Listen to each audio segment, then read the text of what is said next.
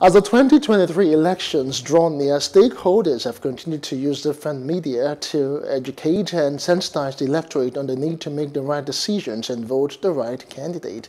Now, this was the thrust of the movie titled The Delegates, premiered in Lagos. Plus TV News correspondent Love Ikukoyedokun was there and now reports.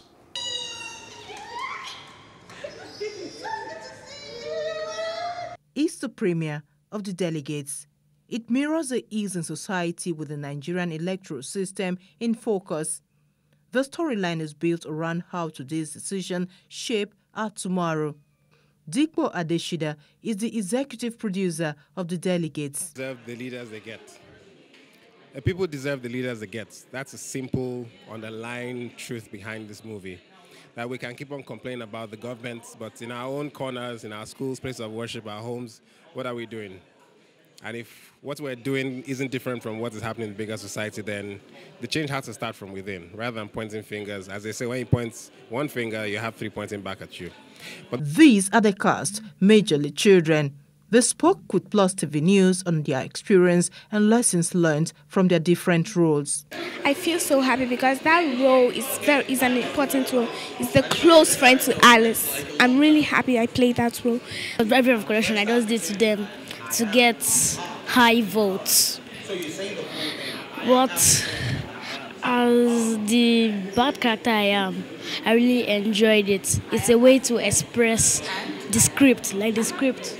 It's a way to express what's in it. I actually learned not to just be blindfolded by what people put in front of you, but see what that person can give you at the end of the day.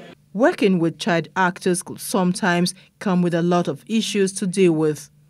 Bola Enigma Akombi directed the film. He took us through what the experience is like working with child casts. You have to go through audition process, you know, checking out submissions, then physical auditioning, and I had to work with over 40 child actors. And then you know when you're working with 40 child, um, 40 child actors, you're actually working with 80 actors. Because while you are dealing with the children, you're also dealing with the parents. Filmmakers at the event shared their thoughts on the movie. They, they've got very big dreams and they feel the need to start somewhere. Uh, it's better to start than not do anything.